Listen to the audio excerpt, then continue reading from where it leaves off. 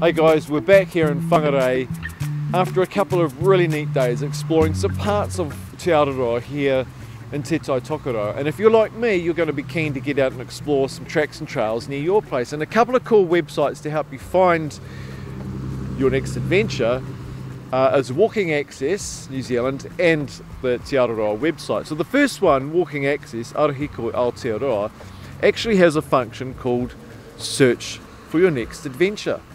So you click on that, and I like this feature, which is the maps one, and you can see a map of Aotearoa and these dots, and you press on the dot near your region, and you can find all the tracks and trails that are near your place.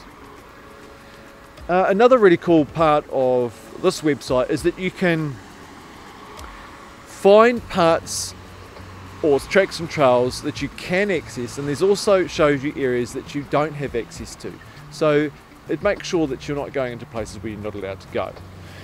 Um, lots of other cool features on that, but the other really neat website is Te Araroa.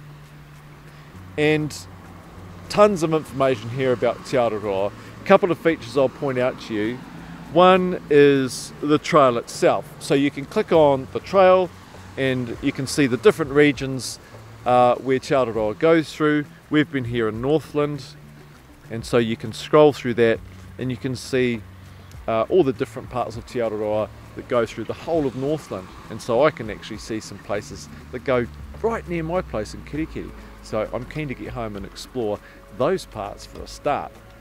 And the other cool feature that you might like to have a look at on this website is the app. So you can download the Te Araroa app, and that's got a lot of information about tracks and trails that may not be open for some reason or another. There could have been a slip or the trail's closed for some reason. Maybe there's been a kauri dieback outbreak and you're not allowed to use the trail. So it's got up to date information and it's good to check that out before you go somewhere to make sure you're not disappointed when you get to the location.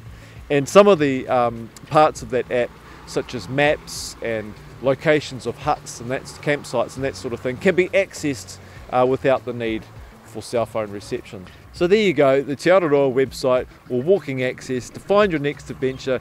Get out there, get exploring. There's so much to see and so much to do. See you on a field trip soon. Ka kite anō.